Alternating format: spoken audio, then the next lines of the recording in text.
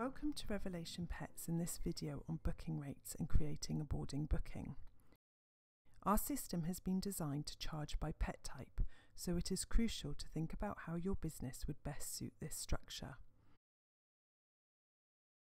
An ideal setup would be to charge a flat fee per pet, for example £15 per cat and £20 per dog. In this scenario, you would need to create two pet types, cat and dog.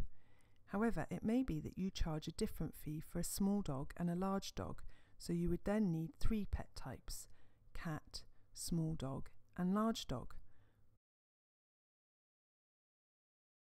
Once you have created your pet types, you need to set your rates. To do this, go to Account Settings, Boarding Rates and complete your prices. For example, one cat costs £15 per night, and you might give a discount to customers with more than one cat, in which case you would say two cats sharing is £25 a night, three cats sharing is £35 per night, etc. It is important to note that you can only have shared rates for the same pet type. Once you have set your boarding rates, it is then very easy to create a booking. Simply press the Create Booking button go to the boarding section and complete each step.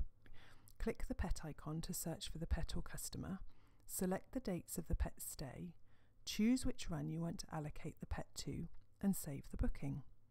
Once you have completed a booking, you can then either print the booking confirmation by pressing this print icon here, you can email it straight to your customer by clicking the email button here, or if your customer wants to book a second stay with you at the same time, there is a duplicate button for you to do this easily.